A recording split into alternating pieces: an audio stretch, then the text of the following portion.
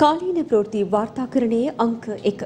සැමට කලින් සත්‍ය හරියටම කියන සියත රාත්‍රී පුවත් විකාශයයි මේ. මම ලක්ෂිකා ප්‍රනන්දු. ප්‍රථමයෙන් සිරස්තල.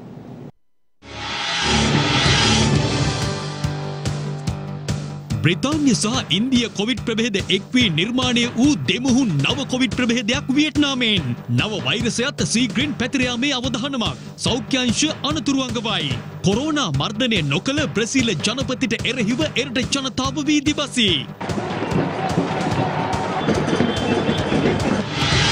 Sinopharm එන්නත බංගලාදේශයට dollar දහයයි. ශ්‍රී ලංකාවට පහළවයි. අපිට ඩොලර් පහක් වැඩිවුණේ කොහොමද?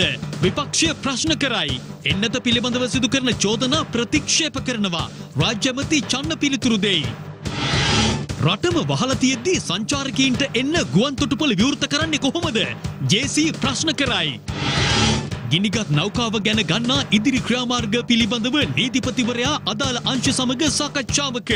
නෞකාවෙන් සිදු වූ හානියට අදාළව නැව් සමාගමෙන් කඩිනමින් වන්දි ලබා ගැනීමට පියවර ගන්නවා. විශ්වභාර ඇමති පවසයි. ප්‍රථමයෙන් දේශීය පුවත් අද දින මෙරටින් නව කොරෝනා ආසාදිතින් දෙදහස් අටසිය හතලිස් නවයක් හඳුනාගෙන ඇති බව යුද හමුදාපති ජනරාල් ශවේන්ද්‍ර සිල්වා මහතා ප්‍රකාශ කළා. මේ අතර කොවිඩ් වෛරසය ආසාදනය වී රෝහල්ගතව ප්‍රතිකාර ලබමින් සිටි පූජ්‍ය වද්දේගම සමිත හිමියන් අපවත් වී තිබෙනවා. කොවිඩ් වෛරසය ආසාධනය වී මාතර පුද්ගලික රෝහලක දැඩි සත්කාර ඒකකය ප්‍රතිකාර ලබමින් සිටි බද්ධයකම සමිති හිමියන් අපපත් වී තිබෙනවා. අපපත් වන විට උන්වහන්සේ හැට අටවන විහි පසු වුණා. ලංකා සමසමාජ පක්ෂයේ විදායක සභිකයෙකු මෙන්ම හිටපු පාර්ලිමේන්තු මන්ත්‍රීවරයෙකු වූ බද්ධයගම සමිති හිමියන් දෙදහස් එක වසරේ සිට දෙදහස් හතර වසර දක්වා පාර්ලිමේන්තුව නියෝජනය කළා. මෙරට පාර්ලිමේන්තුවට තේරී පත් වූ පළමු හිමිනම් ලෙස පූච්චය බද්ධයගම සමිති හිමියන් ඉතිහාසයට එක්වනවා. එය අනුව උන්වහන්සේගේ දේහය පිළිබඳ අවසන් කටයුතු අද පස්සර්වේ සිදු කෙරුණේ ජාත්‍යන්තර නිරෝධහයන නීතිරීතීන්ට අනුකූලවයි.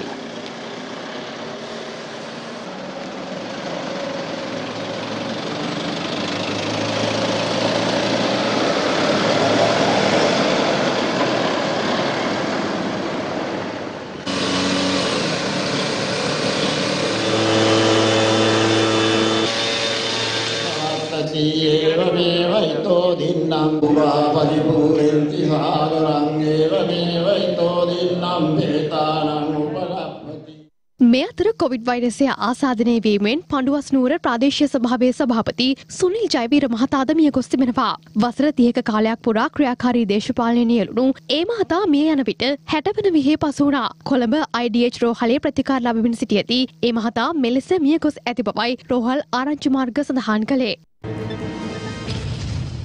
මාරන්තික COොVID-19 වෛරසය හමුවේ මේ වන විට ලොවම අවධහනමකට පත්ව ඇති පසුබිමක බ්‍රිතාන්‍ය හා ඉන්දිය ප්‍රභේදය මුසු වූ නව කොරුණා ප්‍රභේදයක් වියට්නාමෙන් සොයාගෙන තිබෙනවා. මේ වාතය මගින් සීක්‍ර ව්‍යාප්තියක් සහිත ඉතා භයනක ප්‍රභේදයක් වන බවයි වියට්නාමේ සෞඛ්‍ය මහත්‍ය නොයින් තයින් ලොං ප්‍රකාශ කර ඇත්තේ. පෙර හඳුනාගෙන ඇති වෛරස් ප්‍රභේදවලට වඩා ඉහළ සම්ප්‍රේෂණ හැකියාවකින් යුත් නව ප්‍රභේදයේ ජානදත්ත ඉක්මනින් නිකුත් කිරීමට බලාපොරොත්තු වන බවත් වියට්නාමේ සෞඛ්‍ය බලධහරින් ප්‍රකාශ කර තිබෙනවා. වෙනවා. කෙසේ වෙතත් ලෝක සෞඛ්‍ය සංවිධානය වියට්නාම වෛරස් ප්‍රභේදය සම්බන්ධයෙන් මෙතෙක් අදහස් පළ කර නැහැ.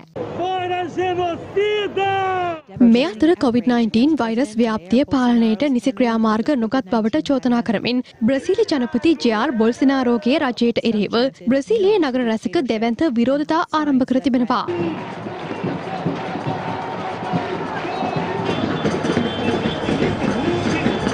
එරට අගනුවරට එක් වූ දහස් ගණනක පිරිස් කොවිඩ් මර්ධන එන්නත් කරන වැඩපිළිවෙල කඩිටම් කරන ලෙස ඉල්ලා විරෝධතාවය නිරත වූ බවයි විදෙස් මාධ්‍ය වාර්තා කළේ.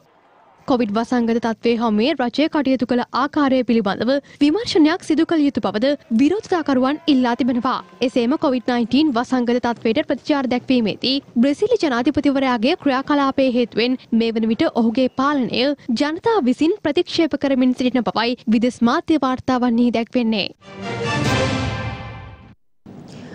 තොග වෙළඳාම සඳහා ආර්ථික මධ්‍යස්ථාන අද දින විවෘත කෙරෙනු අතර ඒ අනුව ආර්ථික මධ්‍යස්ථාන වෙත වාර්තාගත ලෙස එළවලු සහ පළතුරු තොග ලැබී ඇති බව අප වාර්තාකරුවන් පවසනවා. දිවයිනේ සියලුම ආර්ථික මධ්‍යස්ථාන අද දිනේ විවෘත වූ අතර හෙට දිනේදීද තොග වශයෙන් භාණ්ඩ මිලට ගන්නා වෙළඳුන් සඳහා එම ආර්ථික මධ්‍යස්ථාන විවෘතව පවතිනවා. ඒ අනුව පෑලියගොඩ මැනින් තොග වෙළඳපළ අද අලුයම විවෘත කෙරුණා. මීගොඩ ආර්ථික මධ්‍යස්ථානයේද තොග වෙළඳ කටයුතු සඳහා විවෘත කෙරුණු අතර ඊයේ දින පමණක් එළවලු රැගත් ලොරි රථ 45ක් මීගොඩ ආර්ථික මධ්‍යස්ථානයේ වෙත පැමිණ තිබෙනවා. අද දිනේද පස්වරු දෙකට විවෘත වූ ආර්ථික මධ්‍යස්ථානය මධ්‍යම රාත්‍රියේ දක්වා විවෘතව පවතිනවා. පෑලියගොඩ මධ්‍යම මත්ස්‍ය වෙළඳ සංකීර්ණයටද අද මාළු තොග විශාල වශයෙන් ලැබී තිබූ අතර මාළු මිලදී ගැනීම සඳහා වෙළඳුන් විශාල සංඛ්‍යාවක් එම වෙළඳ සංකීර්ණය වෙත පැමිණ සිටියා. කැපිටිපොළ විශේෂිත ආර්ථික මධ්‍යස්ථානයේද තොග වෙළඳාම් කටයුතු සඳහා විවෘත කර තිබුණා. අද දින ආර්ථික මධ්‍යස්ථානයේ විවෘත කිරීමත් සමග ගොවීන් විශාල වශයෙන් එළවලු තොග අලවිය සඳහා රැගෙන ආ අතර වැලිමඩ නුවරඑළිය මාර්ගී කැපිටිපොළ ආර්ථික මධ්‍යස්ථානයේ අසල දිගු රථවාහන පෝලින්ද දැක ගැනීමට හැකි වුණා. ඇඹිලිපිටිය ආර්ථික මධ්‍යස්ථානයේ තොග වෙළඳාම් කටයුතුද අද පෙරවරු 4 සිට ආරම්භ වුණා. තඹුත්තේගම විශේෂ ආර්ථික මධ්‍යස්ථානයේද අද අලුයම විවෘත වූ අතර එළවලු සහ පළතුරුවල මිල පහළ ගොස් ඇති බවයි එහිදී අපට වාර්තා වුණේ. අද සවස පහට දඹුල්ල විශේෂ ආර්ථික මධ්‍යස්ථානය සුපුරුදු පරිදි වසා නොදමන බව සහ එම ආර්ථික මධ්‍යස්ථානය වෙත ගෙනවිත් තිබෙන අතිරික්ත එළවලු තොග නිමවනතුරු ආර්ථික මධ්‍යස්ථානයේ විවෘතව තබන බව දැනුවත් කිරීමත් සමග එළවලු සහ පළතුරු තොග රැගත් ලොරි රථ විශාල සංඛ්‍යාවක් එම ආර්ථික මධ්‍යස්ථානයේ වෙත පැමිණ තිබෙනවා. අද පස්වරුව වන විටත් ආර්ථික මධ්‍යස්ථානය ආසන්නයේ ඒනයින් මාර්ගය ලොරි රථ වලින් පිරී තිබුණේ මේ අයුරින්. Amen.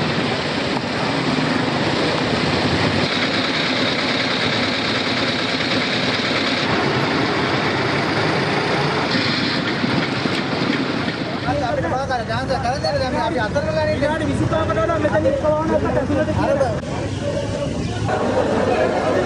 ඇත්තටම දමුල ආත්මදර්ශන ඉතිහාසයේ වැඩිම එළු ප්‍රමාණයක් අප දවසක් කියන්න පුළුවන්. කිලෝ ලක්ෂ 80ක් 100ක් වගේ ප්‍රමාණයක් ඇවිල්ලා තියෙනවා. ඒ වගේම එළියෙත් තියෙන ඒ වගේම ප්‍රමාණයක්. ඒ මම හිතන්නේ ලොරි 2000ක් වගේ ප්‍රමාණයක් ඇවිල්ලා තියෙනවා. ගොවියන්ගේ සහ වෙළඳ ව්‍යාපාරිකයන්. මේ අතර රට පුරා ව්‍යාප්ත වෙමින් පවතින වසංගත තත්ත්වයේ හේතුවෙන් ජනාධිපතිවරයාගේ උපදෙස් මත සිවිල් ආරක්ෂක දෙපාර්තමේන්තුවේ අධ්‍යක්ෂ ජනරාල් විශ්‍රාමික මේජර් ජනරල් නන්දන සේනාධීර මහතාගේ උපදෙස් මත ආර්ථික මධ්‍යස්ථානවලින් මිලදී ගන්නා වියලි ආහාර ද්‍රව්‍ය සහ එළවලු සහන මිලට අලෙවි කිරීම අද ආරම්භ වුණා. මරදාන බොරැල්ල දෙමටගොඩ බම්බලපිටිය ගල්කිස්ස නුගේගොඩ ජයල සහ ගම්පහ ප්‍රදේශවල මෙලෙස වියලි ආහාර ද්‍රව්‍ය සහ එළවලු අලෙවි කරන බවයි සිවිල් ආරක්ෂක දෙපාර්තමේන්තුව සඳහන් කළේ. සංචරණ සීමා හේතුවෙන් ජනතාව නිවෙස්වලට සීමා වී සිටින අතරතුර දිවයිනේ විවිධ ප්‍රදේශවල අදත් ජංගම අලෙවි රථ හරහා එළවලු පළතුරු ඇතුළු අත්‍යවශ්‍ය ද්‍රව්‍ය නිවෙස්වලටම ගෙන ගොස් අලෙවි කිරීම සිදු කෙරුණා.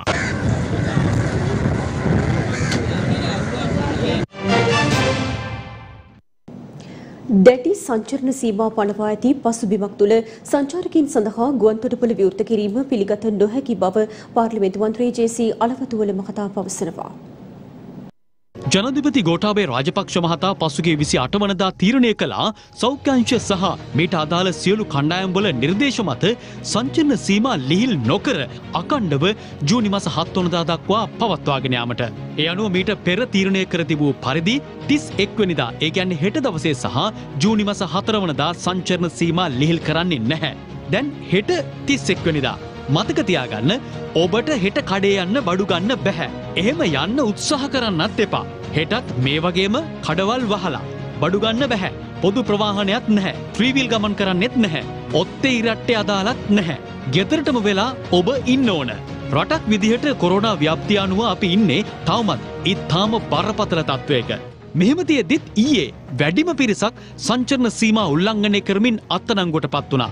සංඛ්‍යාව 1000කට ආසන්නයි. මේ අතර රට තුල දැඩි සංචරණ සීමා ක්‍රියාත්මක වෙද්දී හෙටින් පසුව ලබන ජූනි මාස පළමු වනදා සිට ගුවන් තොටුපළ සංචාරකයන් සඳහා විවෘත කරන්නට සූදානම් වනවා. ලබා දී ඇති මාර්ගෝපදේශයන්ට අනුකූලවයි මෙලෙස ජූනි මාස පළමු වනදා සිට ශ්‍රී ලංකීය සහ විදෙස් සංචාරකයන් සඳහා ගුවන් තොටුපළ විවෘත වන්නේ.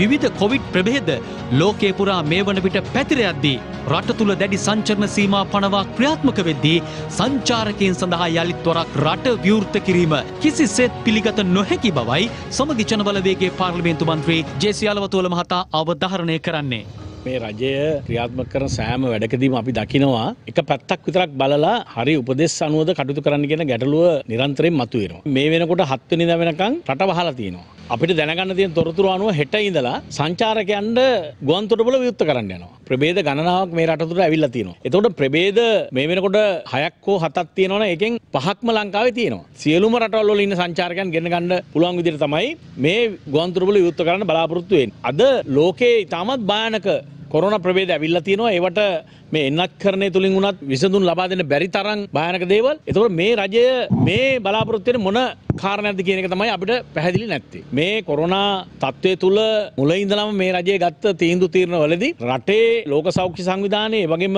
විශේෂඥයන්ගේ උපදෙස් අනුවද කටයුතු කරේ කියන එක අපි මුල ඉඳලම කිව්වා. කොවිඩ් මර්ධන එන්නත් කරන වැඩසටහන අදත් දිවයිනේ ප්‍රදේශ රැසක ක්‍රියාත්මක කෙරුණා. මේ අතර මාතර ප්‍රදේශයේ එන්නත් කරන වැඩසටහන පිළිබඳව නිරීක්ෂණය කිරීමට අග්‍රාමාත්‍ය මහින්ද රාජපක්ෂ මහතා අද පැමිණියා. මාතර දිස්ත්‍රික්කයේ ජනතාව වෙනුවෙන් එන්නත් කරන කටයුතු සිදුවන ආකාරය නිරීක්ෂණය කිරීම සඳහා අග්‍රාමාත්‍ය මහින්ද රාජපක්ෂ මහතා අද පෙරවරුවේ නිරීක්ෂණ චාරිකාවක නිරත වුණා.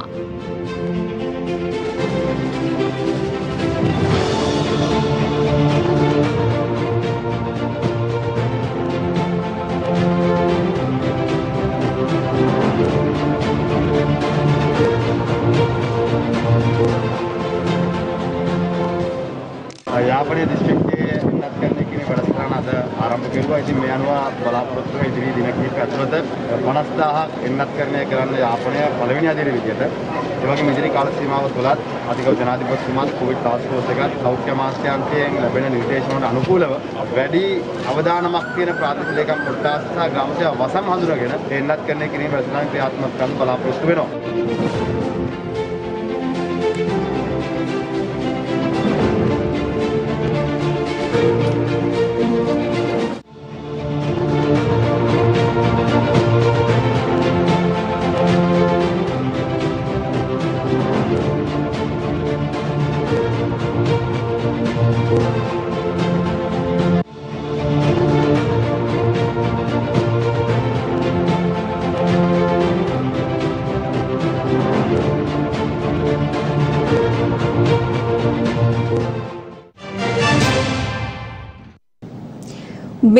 කොවිඩ් වර්ධන එන්නත් කරන වැඩසටහනේ ඇති ආක්‍රමිකතා පිළිබඳව විපක්ෂය චෝදනා එල්ල කර සිටිනවා.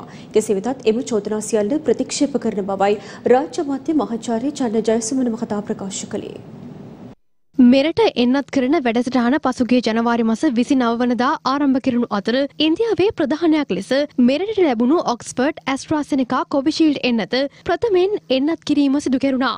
බස්නාහිර පලාතට සීමා වී තිබූ එන්නත් කරන කටයුතු රටපුරා මේ වන විට අකණ්ඩව සිදුවන අතර කොවිශීල්ඩ් එන්නත සයිනෆාම් එන්නත හා ස්පුට්නික් 5 එන්නත එන්නත් කිරීමේ කටයුතු සිදුවනවා. එන්නත් කරණය එසේ දීප ව්‍යාප්තව සිදුවමින් පවතින මොහොතක එන්නත් කරන වැඩපිළිවෙල හා එන්නත් මෙරට ගෙන්වීම සම්බන්ධයෙන් මේ වන විට චෝදනා රැසක් එල්ලවෙමින් පවතිනවා. සමගි ජනපලවේගේ නායක විපක්ෂ නායක සජිත් ප්‍රේමදාස මහතා එන්නත් කරණය හා එන්නත් ගෙන්වීම අකාර්යක්ෂම බවට අද නිවේදනයක් නිකුත් කරමින් සඳහන් කළා. මෙරටට ගෙන්වන සයිනුෆාම් එන්නත් මාත්‍රාවක් සඳහා ඩොල පහලවක් එනම් ආසන්න වශයෙන් රුපියල් තුන්දහස්තියක් වැය කෙරෙන අතර එම එන්නතම බංගලිදේශය ලබාගන්නේ ඩොල දහය බැගින් බව හෙළිවී තිබෙනවා. එන්නත් මිලියන දාහතරක් ආනයනය කිරීම සඳහා කැබිනට් අනුමැතිය ලබාගෙන ඇති අතර ඒ අනුව එක මාත්‍රාවක් ඩොල පහලෝ බැගින් වැය වන මුළු මුදල ඩොල මිලියන දෙසිය දහයක් හෙවත් රුපියල් මිලියන හතලිස් දෙදහස් හාරසිය විස්සක් පමණ වන පපයි විපක්ෂ නායකවරයා විසින් නිකුත් කළ නිවේදනය දැක්වෙන්නේ. එහෙත් බංගලිදේශය ලබාගන්නා මිල වූ ඩොල දහය සමඟ සංසන්තනය කිරීමේදී එන්නත් මාත්‍රා මිලියන දා හතර වෙනුවෙන් වැයවන්නේ ඩොල මිලියන එකසිය හතලයක් පමණේ. මේ අනුව ඩොල මිලියන හැත්තෑවක් එනම් රුපියල් මිලියන දා හතර දහස් එකසිය හතලයක පමණ වූ මුදලට සිදුව ඇත්තේ කුමක්ද යන්න ආණ්ඩුව රටට හෙළි කළ යුතු බවද විපක්ෂනායකවරයා විසින් නිකුත් කළ නිවේදනයේ දැක්වෙනවා. අපි කිව්වා බංගලදේශ රජය එක මාත්‍රාවකට ගෙවලා තියෙන්නේ ඩොලර් 10යි. එතකොට දැන් අපි එක මාත්‍රාවක ඩොලර් 5 ගාණ වැඩිපුර ගෙවනවා. ඒ කියන්නේ මාත්‍රා මිලියන 14ක ඩොලර් මිලියන 70ක්. ලංකාවේ මුදලින් මිලියන 14000ක්, බිලියන 14ක්. ඒ කියන්නේ අර්ජුන් මහේන්ද්‍රන්ගේ මහ බැංකු මංකොල්ලයට වඩා වැඩි මුදලක් මේකෙන් අපිට පාඩු සිද්ධ වෙනවා. එහෙමනම් අපේ රට මේ වර්තමාන රාජපක්ෂ ආණ්ඩුව චීනයට ඔච්චර සමීප වෙලා ඉඳලා මේ එන්නත් මාත්‍රාවකට ඩොලර් 5 ගාණ ඩොලර් මිලියන මිලියන 70ක් වැඩිපුර ගෙවන්න වෙනවා කියන්නේ අපේ ආණ්ඩුවේ අකාර්යක්ෂමතාවය කියන එක. ඒ හරහා අ, ශ්‍රී ලංකාවේ ජනතාවට ඩොලර් මිලියන 70ක් පාඩුවීම එහෙම නැත්නම් බිලියන 14ක් මිලියන 14ක් ලක්ෂ වලින් ලක්ෂ 1 ලක්ෂ 40000ක් චීනට මෙච්චර ආදරය කරන චීනට මෙච්චර ලං වෙලා ඉන්න ආණ්ඩුවක් යටතේ අපේ රටට අහිමි වීම මහා කාර්යක්ෂමතාවය කෙසේ වෙතත් රාජ්‍ය අමාත්‍ය චන්න ජයසුමන මහතා අප කළ විමසීමකදී ප්‍රකාශ කළේ අදාළ චෝදනා සියල්ල ප්‍රතික්ෂේප කරනා බවයි. මුළුමනින්ම අසත්‍ය සාවද්‍ය ප්‍රවෘත්තියක් ඒක. මේ එන්නත් කරන වැඩපිළිවෙල පිළිබඳ විපක්ෂයේ තියෙන ඊරිසියාව කුහකකම තමයි මේ ප්‍රකාශ වලින් පෙන්눔 කරන්නේ. කිසිසේත්ම අප වෙනත් රටවලට වඩා වැඩි ගාණක් දීලා එන්නත් ගෙනල්ලා නැහැ. ඒක අපි සම්පූර්ණ ප්‍රතික්ෂේප කරනවා. විශේෂයෙන්ම සයිනෝෆාම් එන්නත අප ලබාගත්තේ මුදලට වඩා අඩු මිලකට බංගලාදේශයට ඩොලර් 10කට ලබා දුන්නා කියලා ව්‍යාජ ප්‍රකාශයක් වැරදි ප්‍රකාශයක් සාවද්‍ය ප්‍රකාශයක් කලකිරුණා මේ සම්බන්ධයෙන් අප විමසීමක් කරා සයිනෝෆාම් ආයතනයෙන් වගේම කොළඹ පිහිටි චීන තානාපති කාර්යාලයෙන් මේ වෙනකොට චීන තානාපති කාර්යාලය නිල වශයෙන් ඔවුන්ගේ ට්වීට් ගිණුමෙන් ප්‍රකාශයක් නුත් කරලා තිනවා මේක ව්‍යාජ ප්‍රවෘත්තියක් කියලා ඒකට රැවටෙන්න එපාය කියලා. ඒ වගේම තමයි අප ඩොලර් 15කට මිලදී ගත්තේ මේ ඉන්නත ඇත්තටම චීනෙත් ඒක ඩොලර් 29යි 775ක් වෙනවා. දකුණු ඇමරිකාවේ ආජන්ටිනාව ලබාගෙන තියෙන ඩොලර් 40කට, යුරෝපයේදී හංගේරියාව ඩොලර් 36කට, කොටිම අප්‍රිකාවේ සෙනගාලේ ලබාගෙන තියෙන ඩොලර් 18යි 760කට. ඒක නිසා අප මේ සියලු රටවල් වලට වඩා අඩු ගානකට ලබාගෙන තියෙනවා. මේ පුවත සම්පූර්ණයෙන්ම නිර්මාණය කරන ලද අසත්‍ය පුවතක් හැටියට අප ප්‍රකාශ කරනවා. කොවිඩ් වසංගතය පාලනය කිරීම සඳහා පොදු ප්‍රතිපත්ති මාලාවක් සහිත කෙටුම්පතක් සකස් කළ යුතු බව එක්සත් ජාතික පක්ෂ නායක හිටපු අග්‍රාමාත්‍ය රනිල් වික්‍රමසිංහ මහතා පවසනවා. අද අපේ සෞඛ්‍ය සේවකයන් මහන්සි වෙලා ලෙඩ වෙලා දැන් කඩාවැටීමකට එන්න පුළුවන්. ඉංග්‍රීසියෙන් කියනවා නම් අපි එහෙනම් මේ අය ආරක්ෂා කරන්න පුළුවන් එකම මාර්ගය පොදු ප්‍රතිපත්ති මාලාවක් ඇති කළා හැම එක්කෙනාම පිළි අරගෙන ඒ සඳහා අපි සැලසුම් ඇති කිරීම. අන්න ඒ මාර්ගයෙන් පමණයි අපිට මේ තත්ත්වය නවත්තන්න පුළුවන්. පළමුවෙන්ම වෛද්‍ය උපදෙස් අරගන්න. තාම වෛද්‍ය උපදෙස් අනුව සම්පූර්ණ වෛද්‍ය උපදෙස් අනුව අපේ ආණ්ඩුව ක්‍රියා කරලා නැහැ. මේ අවස්ථාවේදී අපිට උවමනා එන්නත් ප්‍රමාණය අපි ලබා ගන්නට උවමනා. අවුරුදු 12ට වැඩි ළමයින්ටත් එන්නත් දෙන්න තීරණය කරලා තියෙනවා. එහෙම සිදු වෙනවා නම් අපිට ඕන එන්නත් ප්‍රමාණය කෝටි 3 ඉඳන් 3 මාර දක්වා වැඩි වෙනවා. මේ අපි ලබා ගන්න තියෙනවා. සමහර රටවල අතිරික්තයක් තිබුණා. ඒවා කොඑක් සංවිධානයට දෙන්න තීරණය කරා. නමුත් අවුරුදු 12 ළමයින්ට දෙන නිසා එයාට තියෙන අතිරික්තය මීට වඩා අඩු වෙනවා. එහෙනම් මේ අනුව අපිට එන්නත් ගෙනල්ලා මේ කණ්ඩායමට එන්නත් දෙන එක අවසන් වෙන්නේ එන අවුරුද්දේ පමණයි. රට තුළ පවතින කොවිඩ් වසංගත ව්‍යාප්තිය සම්බන්ධයෙන් දේශපාලන වේදිකාවේ පළ වූ අදහස් කිහිපයක් දැන්. ලොක්ඩවුන් කිව්වහම ලොක්ඩවුන් කරනවා මිසක්. එහෙම නැත්තම් පාරේ තමන් එනකොට දකින දේ අනුව මිරිහානේ ඉඳලා ජනාධිපති ලේකම් කාර්යාලයට එනකොට පාරේ වාහන වැඩි නම් හෙට සීමා ලිහිල් කරාට වාහන වලින් යන්න බෑ පයින් යන්න. වාහනවල දොස්තර ලකුණු තිබුණාම දොස්තර වාහන වැඩි ඒව පරීක්ෂා කරන්න කියලා ජනාධිපති ලේකම් කාර්යාලයට එනකොට දකින දේවල් මත තමයි අද තීන්දුව තීරණ ගන්න සිද්ධ වෙලා තියෙන්නේ. අපි හදන්නේ මේ රටේ ජනතාව ජීවත් කරවන්න. ඕම් බලාගෙන ඉන්නේ මිනිස්සුන්ට කොවිඩ් හැදෙන්න ඕනේ, මැරෙන්න ඕනේ, සල්ලි නැති වෙන්න ඕනේ, ආර්ථිකය වැටෙන්න ඕනේ. මොකද ඒගොල්ලෝ එකම බලාපොරොත්තු. ජනතාවට ලොක්ඩවුන් කරන්න කියන විපක්ෂය මිනිස්සු ජීවත් වෙන විදිය ගැන කතා කරන්නේ නැහැ. බඩගිනි තියන්න බෑනේ වහල ඉවරලා. ආණ්ඩුව මේ රටේ ජනතාව බිල්ලට දීලා තින්නේ. ඒ මහා ඛේදවාචකයේ දැන දැන අවුරුද්දට රටේ මිනිසුන්ට අවුරුදු සවාරියන්න ඉඩ දුන්නා. ඊට පස්සේ වැරදුනහම සංචාරණ සීමා දාලා ඒකේ චෝදනාව ජනතාවට පටවනවා හැමදාම ආණ්ඩුව. මේ වෙලා යුවසනයක් මේ රටේ තියෙනවා. ඒ වගේම ජනාධිපතිතුමා පත් වෙච්ච දවසේ ඉඳලම ජනාධිපතිතුමාට විශාල කරදර. ජනාධිපතිතුමා මේකේ පත් වෙනකොට සහරාන්ගේ ප්‍රහාරය එල්ල කළා. ඊළඟට කොවිඩ් වසංගතය ඇවිල්ලා දැන් හරියටම අවුරුදු අවුරුද්දකට වැඩි වුණා. අද ආණ්ඩුවට මේ තනියම මේක කරන්න පුළුවන් කමක් නැහැ. රජයට කරන්න තිබුණේ දින දෙකක් මහජනයට ලබා දීලා කියන්න දින 14ක් රට වහනවා සියලු භාණ්ඩ එකතු කර ගැනීම සිදු කරගන්න කියලා. ඒකම කරන්න තිබුණේ රාජ්‍ය යාන්ත්‍රණය සහ පෞද්ගල යාන්ත්‍රණේ ඔවුන්ගේ වැටුප් වහාම ගෙවන්න කියන රජය. දැන් අද කළා තිබෙන කාර්යයෙන් මං හිතන්නේ නැහැ යම් කිසි සාහනයක් ලැබෙයි. නමුත් ඒක නිවැරදි ක්‍රමවේදයයි කියලා අපිට කියන්න බෑ.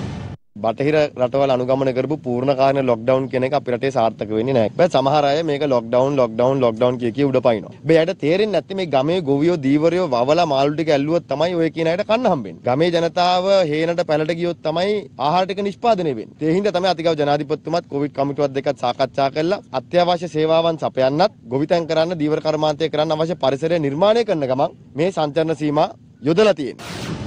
අපිට මතකයි ආණ්ඩුවේ ගොඩක් කැමතිවරු අර බාලගිරි දෝෂේ වගේ එක එක ජාතිය කතා කිව්වා. ඒ වගේ ගොඩක් කැමතිවරු කයිවාරු ගැහුවා. ඒතර ඇස්ට්‍රසෙනිකා පළවෙනි මාත්‍රාව දීලා දෙවෙනි මාත්‍රාව දෙන්න විදිහක් නැහැ. දැන් වැක්සින් අවසන්. දැන් අද මේ සංචරණ සීමා දාලා තියෙද්දි බොහෝ ඇඟලුම් කර්මාන්තශාලා වැඩ කරනවා. ඇඟලුම් කර්මාන්තශාලා වැඩ කරනවා නම් ඒවා වැඩ කිරීම සඳහා වෙච්ච යම් පාලිත ක්‍රමවේදයක් හදන්න. මේ ලෝකේ එක රටක්වත් කරපු නැති දෙයක් කරලා තියෙනවා මේ ආණ්ඩුව.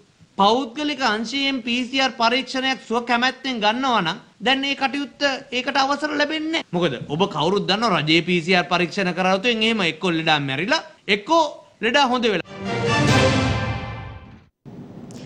ගෙනගැනීමට ලක් වූ MV එක්ස්ප්‍රස් නෞකාව සම්බන්ධයෙන් ගත යුතු ඉදිරි පියවර පිළිබඳව තීරණය කිරීම සඳහා නීතිපති සංජය රාජරත්න මහතාගේ ප්‍රධානත්වයෙන් අද සාකච්ඡාවක් පැවැත්වුණා.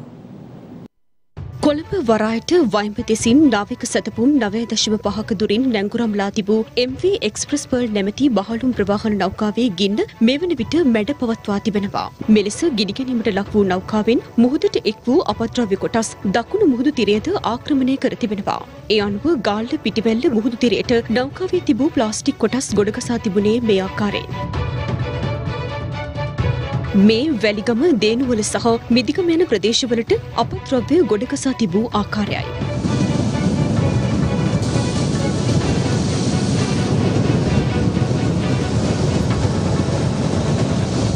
ඒ අනුව අද දිනත් ශ්‍රී ලංකා ගුවන් හමුදාවේ සහය ඇතිව වෙරළ තිරයට ගොඩගසා ඇති එක්ස්ප්‍රස් පර්ල් නෞකාවේ අපද්‍රව්‍ය ඉවත් කිරීමේ කටයුතු මෙලෙස සිදු කෙරුණා.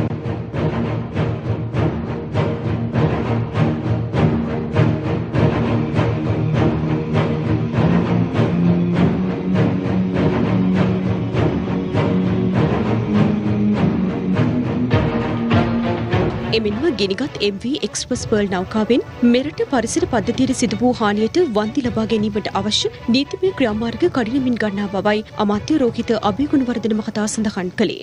නාවික කේන්ද්‍රස්ථානයක් හැටියට විශාල නැව් ප්‍රමාණයක් අපිට එන අවස්ථාවල් වලදී මෙවැනි සිදුවීම් වෙන්න පුළුවන් වෙනවා. ලොකු හානියක් මේ වලින් සිද්ධ වෙලා තියෙනවා. අපි මුලින් දැක්කේ මීගමුව සහ කොළඹට දක්වා එන මුදු තීරයට විතරයි මේක ගොඩ ගසන නමුත් දැන් ඒක ගාල්ලට දක්වා විහිදිලා තියෙනවා. ඒ නිසා ඒ සම්බන්ධයෙන් මේ නැව් සමාගමෙන් අවශ්‍ය කරන වන්දි ලබා ගැනීමට අවශ්‍ය කරන කටයුතු අපි රජයක් හැටියට ක්‍රියාත්මක කරනවා. මේ වන විට කපිතාන්වරයාත් ඒ වගේම අනිකුත් කාර්ය මණ්ඩලයත් කිසි කෙනෙකුට රටින් පිට වෙන්න පුළුවන් කමක් ලැබෙන්නේ නැහැ. මේකේ නීතිමය වශයෙන් තියෙන කරුණු කාරණාවලට අවශ්‍ය විදියට තමයි අපි කටයුතු සූදානම් කරන්නේ. ගිනිගැනීමට ලක් වූ එක්ස්ප්‍රස් නෞකාවේ කපිතාන්වරයා ඇතුළු කාර්ය මණ්ඩලයේ 25 දෙනාගෙන් හෙට දින ප්‍රකාශ ලබා ගන්නා බව පොලිස් මාධ්‍ය ප්‍රකාශක නියෝජ්‍ය පොලිස්පති අජිත් රෝහණ මහතා සඳහන් කළා. මේ නැවේ දේශීය නියෝජිත ආයතනය සම්බන්ධ කරගෙන මේ නැවේ කාර්ය මණ්ඩලයේ ප්‍රකාශ ලබා ගැනීමට නියමිතව තිබෙනවා. මෙතෙක් ඒ ප්‍රකාශ ලබා ගැනීමට නොහැකි වුණේ එම කාර්ය මණ්ඩලය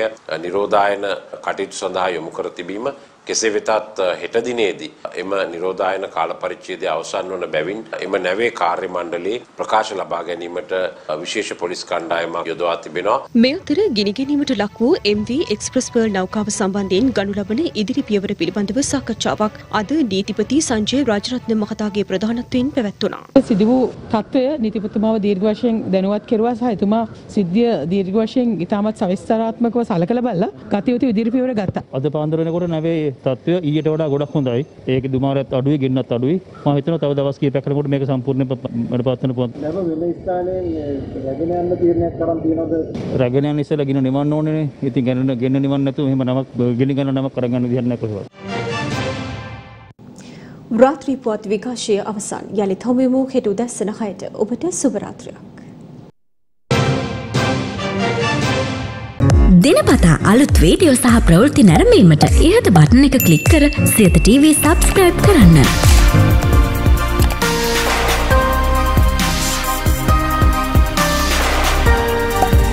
අලුත් වීඩියෝ ගැන මුලින්ම දැනගන්න මෙම සීනුව ක්ලික් කරන්න.